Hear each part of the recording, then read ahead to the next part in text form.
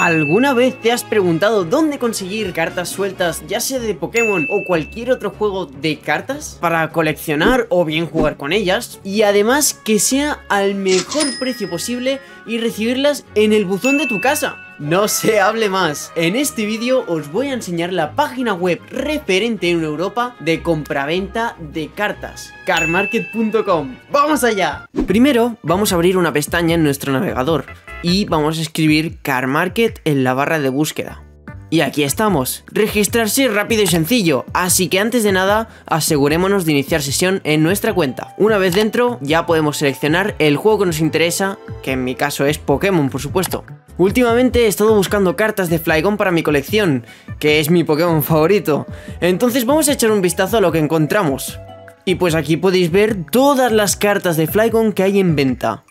La verdad es que hay tantas opciones y son todas tan guapas que va a ser imposible decidirse. Al final me he decidido por esta. Y como podéis ver, el vendedor más económico es este, este vendedor de Alemania, así que vamos a añadirlo en nuestro carrito. En el carrito podemos encontrar todos los detalles de la compra, pero antes vamos a ver si tiene alguna carta más que nos pueda interesar. Vamos a entrar a su perfil. Este mismo vendedor tiene otras cartas geniales, pero hoy mi objetivo es encontrar un Kyurem con un arte espectacular para mi mazo. ¡Y bingo! Aquí está, vamos a añadirlo también a nuestro carrito, por supuesto. Después de estar trasteando un buen rato entre perfiles, al final me han salido estos dos pedidos.